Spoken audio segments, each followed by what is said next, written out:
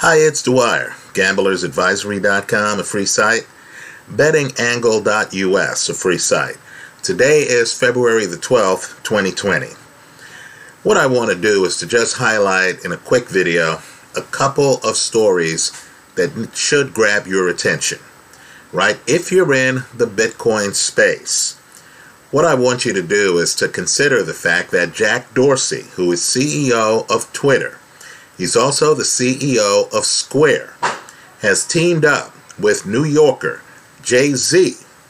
And they're, of course, not just investing 500 Bitcoin to make Bitcoin internet's currency. But understand what these guys are doing is they're going to two of the most intriguing economies in the world demographically the Indian economy, which, if you're into demographics, might well leapfrog the Chinese economy in the coming years, given the number of young people. And they're also going to Africa. Now, understand, Africa is younger than most of the other continents a lot of people in Africa don't have access to banking, normal financial markets. If you bring in cryptocurrency, if you bring in sound currency, Bitcoin, right? If the local economy is not based on Western debt, but is actually based on sound currency, given the natural resources and human capital in Africa, Africa's economic growth could go exponential. So understand, you're talking about two heavy hitters here. Guys who are CEOs, guys who make things happen, who don't even need to be in the space, quite frankly. But these are the guys who want to change the world. Folks, they're taking steps right now to do so. Let's talk about another person who, quite frankly, is taking a big step to try to change the world. And that is New York mayoral candidate Andrew Yang, who is on record as saying that New York City should be a Bitcoin hub. Now, this news is bigger than it seems. Understand, the world has very few financial centers on par with New York City. Very few. I understand the people in London want to say, hey, we are the financial capital of the world. Well, let's just say very few cities can make that claim. Let's go one step further on New York City. Understand, New York right now needs a financial miracle. A lot of people are leaving New York, including very wealthy people who are much of the tax base. Right? So, New York is dealing with pensions that are underwater. A mass transit system that right now is underused. Looks like a malinvestment. Well, let me just say this, and I know there are critics out there saying, well, what about New York State's BitLicense, which is a disaster?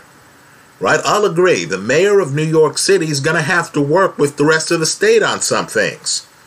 But there are other things that the next mayor of New York City can make happen that would lead to instant improvement. For example, the train system.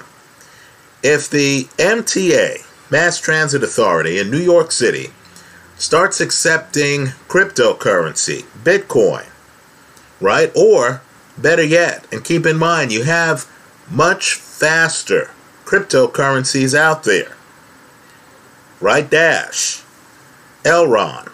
I mean, and let's also say this too Bitcoin's slow transaction time shouldn't be an obstacle for those who prepay for their mass transit trips. Well, if you introduce Bitcoin into the New York City subway system and its administration, I'm just telling you that that chronic money loser is suddenly going to start making money right? Because the dollars won't depreciate the way fiat currencies always do. It would also lead to price stability. When I was a kid, oh my goodness, it was dirt cheap to ride the subway system in New York City. I was back there recently for a funeral. Well, not that recently, let's say five years ago, and I was shocked. I was a old timer from the 70s, right? I started riding the subway to high school in 79. And, you know, the pricing and everything like that threw me for a loop.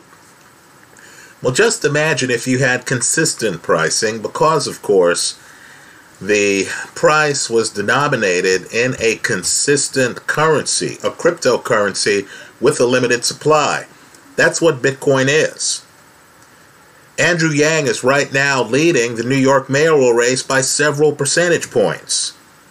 If he wins, you're talking about the mayor of a major metropolitan area in a financial center that could shake things up significantly. Finally, and it does need to be said, you know, we talk about cryptocurrencies and altcoins, and many people are Bitcoin maximalists. Now, I love Bitcoin, it's by far my favorite. But, well, maybe not by far, but it's my favorite. But let me say this you need cryptocurrencies like Dash right? Cryptocurrencies that are much faster than Bitcoin. I personally have been trying to do a Bitcoin transaction now for about three days. On the screen is the mempool transaction list of unconfirmed transactions on the Bitcoin system. Right? I'm just telling you, I'm not alone. It looks like you have a spike in unconfirmed transactions. It looks like there are a lot of people like me who, you know, did a Bitcoin transaction and are waiting to receive their Bitcoin several days later, in part because the cryptocurrency has been on fire. Everyone should think about this when they think of altcoins. Right? The altcoins that will make it will be altcoins that address market needs. One of them is for quick clearance of transactions. That's how I see it. Let me hear from you. I hope everyone watching this video has a great weekend. I thank you for stopping by.